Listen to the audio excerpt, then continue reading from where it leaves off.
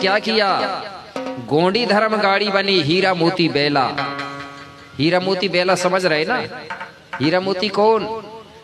मोती मतलब मोती रावण कंगाली। और हीरा मतलब दादा मरकाम। अब वो चाहे कोई भी रहे, लेकिन उन्होंने समाज को जगाया है, इसलिए वो देव के बराबर है। है कि नहीं है? क्योंकि अगर ये दो लोग नहीं होते तो आज भी हम एक गोंडवाना को फिर से जान नहीं पाते। भली आज एक से एक लोग तैयार हो गए, लेकिन देन उनकी है मेरे भाई, जिन्होंने समाज को जगाया और वो देव बन गए तो हमारे देवता के रूप में। इसलिए कहा गया कि गोंडी धर्म गाड़ी बनी हीरा मोती बेला और भूमका गुरु हाकन बारे या बैठे छेला। बैठे हैं ना सब लोग अब। और कौन दिशा आई गाड़ी, कौन दिशा जे है? कौन दिशा से आई गाड़ी भाई? हम लोगों ने गाड़ी लेके आए तुम्हारे गाँव। में तो ये पूरब दिशा से आई पश्चिम दिशा।